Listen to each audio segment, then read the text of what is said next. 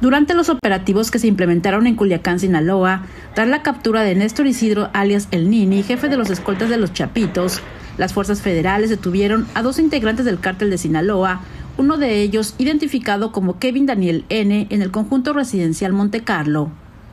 Elementos de la Guardia Nacional y del Ejército ingresaron con unidades artilladas al complejo residencial, ubicado sobre el Boulevard Lola Beltrán, y cercaron todas las salidas y entradas en la sección León y se llevó a cabo un cateo. En el lugar se encontraron diversas sustancias químicas y un arma de fuego.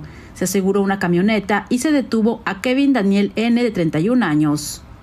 En un segundo operativo, la Guardia Nacional y el Ejército detuvieron en el fraccionamiento Acueducto a un hombre cuya identidad no se dio a conocer presuntamente ligado con el mismo grupo delictivo. En una tercera acción, las fuerzas federales resguardan una residencia ubicada en el sector La Conquista, en espera de que se libere una orden de cateo para que puedan ingresar elementos de la Fiscalía General de la República. Mientras, el inmueble donde fue capturado el Nini, en el fraccionamiento Colinas de la Ribera, también permanece custodiado por las fuerzas federales, así como otros cateos en un rancho, donde se aseguraron tres tigres, así como en otros fraccionamientos, donde se movía Pérez Salas.